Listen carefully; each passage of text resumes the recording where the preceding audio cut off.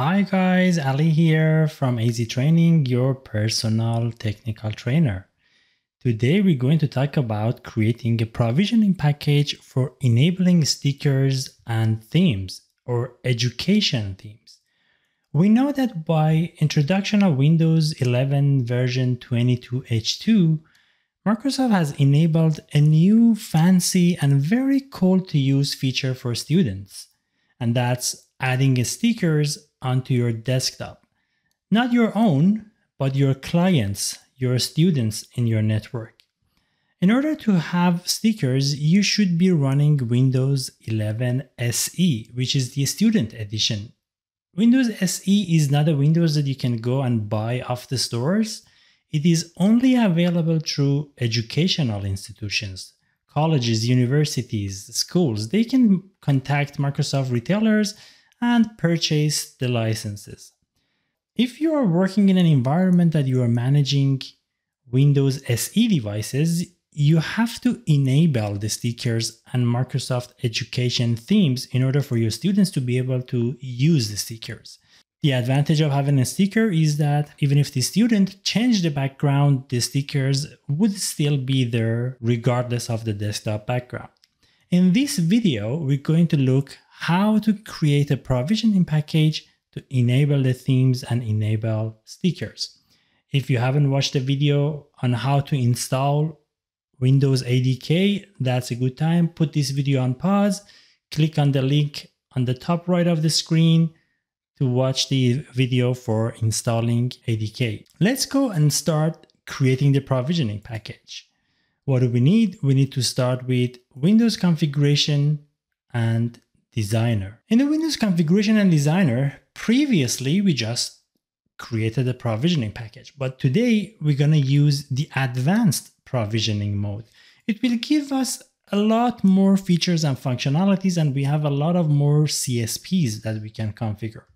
I'm going to give this project a name called stickers and give it a good description. This package enables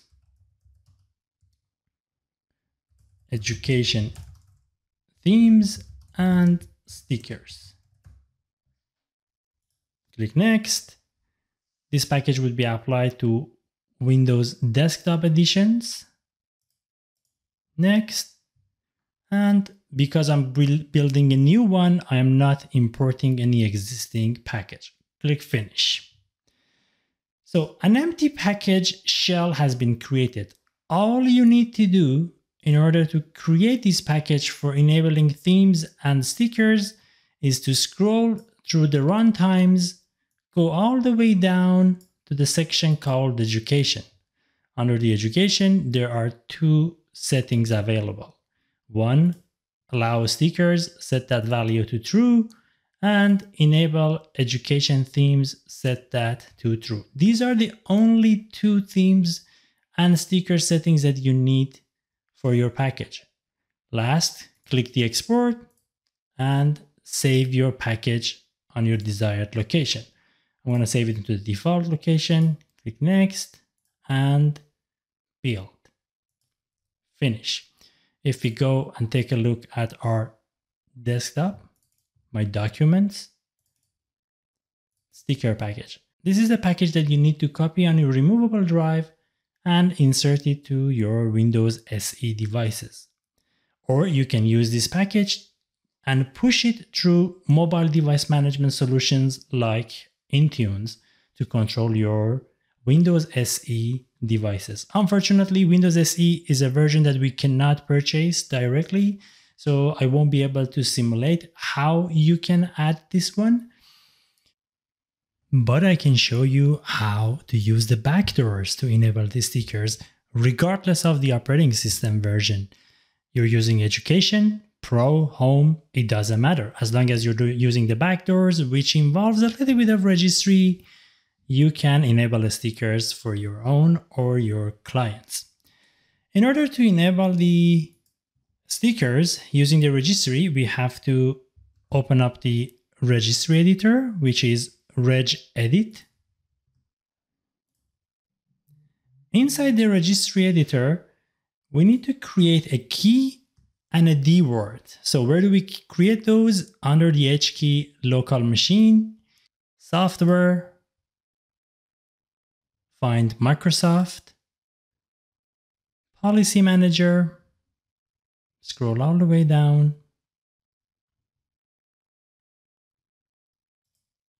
policy manager, then here, go to the current and devices.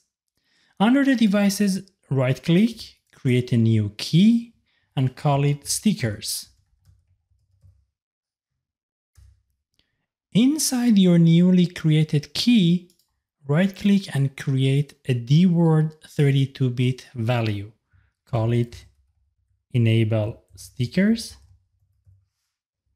and set the value to 1. We are done with the registry editor and we can close it. Now, how do we set these stickers? As easy as right clicking on your desktop, select personalize as if you want to select a background. Go and select the background and you see the pictures. There is a small tip here that you need to keep in mind. First of all, you have to have a picture as your desktop background. And on top of it, that picture should be on fill. If you select any other type of stretch or span or fit, the stickers would not be available. As you see right now, we have this option added to us called add stickers.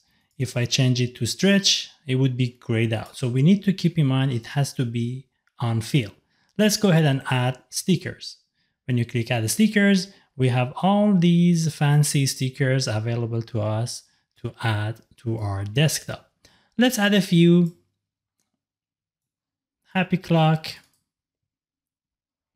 You can relocate it, resize it, and add a few more.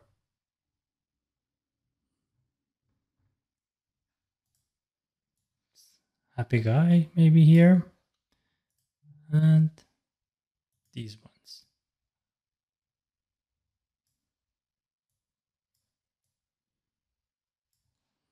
And close.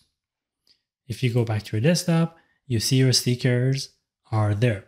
How do we remove these stickers if we want to? Same process. Go to the personalize, select the background, go add stickers, and select the stickers that you want to delete click the delete, delete, delete, and close out of it. That's how you create a provisioning package and how to use the backdoors with the registry key to add the stickers to any version of Windows. I hope you enjoyed this video guys. Please make sure to subscribe, give this video a thumbs up, share, and leave in the comment section below what else would you like to see. See you all on the next video.